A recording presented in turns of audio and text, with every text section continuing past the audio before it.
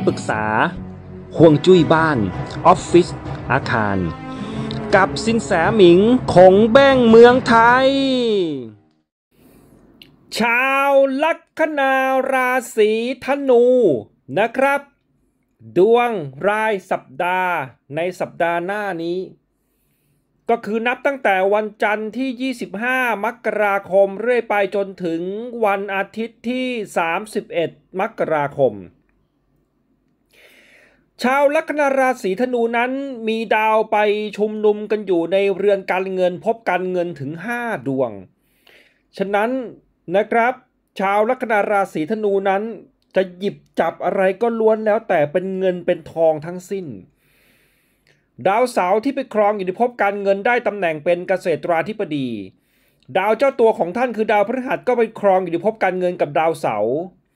ดาวศุกร์ดาวเจ้าเรือนลาภะก็ไปโคจรอยู่ในเรือนการเงิน นั่นหมายความว่าลาภะไปเป็นกระดุมพระ โอ้โหดาวศุกร์ดาวเจ้าเรือนการงานเจ้าเรือนความรักก็โคจรไปอยู่ในเรือนการเงิน สุดท้ายคือดาวอาทิตย์ก็ไปอยู่ในเรือนการเงินอีกหนึ่งดวง ถึงบอกว่าดาวไปอยู่ในเรือนการเงินถึง 5 ดวง ฉะนั้นการเงินของชาวลัคนาราศีธนูนั้นจะโดดเด่นดีมาก ๆหยิบจับอะไรก็จะเป็นเงินเป็นทอง แล้วก็ในสัปดาห์หน้านี้นั้น วันอังคาร อังคารที่ 26 พุธที่ 27อ่าพฤหัสที่ 28 ศุกร์ที่ 29 เนี่ยนะ โอ้ยติดต่ออะไรก็สำเร็จได้ผล ได้รับเงินรับโชค หรือจะมีดีลอะไรบางอย่างที่ดีๆทำให้ชาวลัคนาราศีมังกรนั้นรับทรัพย์อย่างดีเลยในช่วงสัปดาห์หน้านี้นะครับ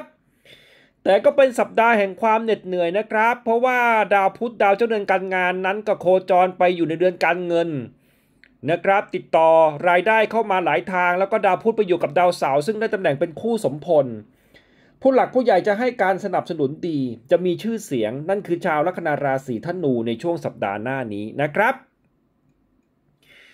อีกอย่างหนึ่งนะครับในสัปดาห์หน้านี้นั้นจะมีดีลอะไรบางอย่างที่เป็นเรื่องสำคัญสำคัญในช่วงวันศุกร์นะวันศุกร์ที่ 29 ซึ่งการดีลตรงนี้นั้นนำไปสู่การเปลี่ยนแปลงบางอย่างที่ดี นะครับดีในเรื่องของการเงิน แล้วก็ผลประโยชน์อะไรต่างๆ ในอนาคตซึ่งพึงจะมีจะได้สำหรับชาวลัคนาราศีธนู อีกอย่างหนึ่งนะครับนะครับชาวลัคนาราศีธนู มีโอกาสที่จะมีโชคดีจากการติดต่องานที่เกี่ยวข้องกับเรื่องของต่างประเทศ ทางไกล social media social network โอ้โหรับรองได้เลยว่าสัปดาห์หน้านี้ สุดๆอะโชคดีอะนะครับ ส่วนในเรื่องของความรักนั้น ดาวศุกร์ซึ่งเป็นตัวแทนของการเงินและความรักด้วยโคจรนำหน้าลัคนา ดาวพุธดาวเจ้าเรือนความรักดาวเจ้าเรือนการงานโคจรไปร่วมกับดาวศุกร์นำหน้าลัคนา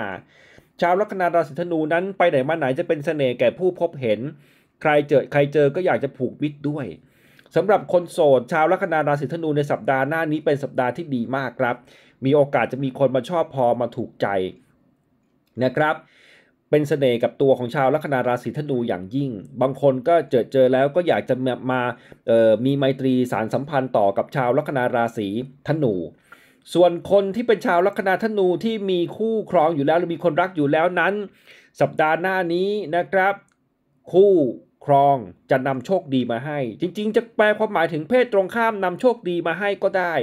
นั่นหมายความว่าอาจจะได้โชคดีจากเรื่องงานเรื่องเงิน หรือมีโอกาสดีๆ หรือคนรักคู่ครองของคุณนั้นนำมาซึ่งโชคดีในเรื่องการเงิน ก็ดาวเจ้าเรือนคู่ครองไปอยู่ในภพการเงิน มันก็แน่นอนอยู่แล้วครับ คือคู่ครองจะนำพาซึ่งโชคดี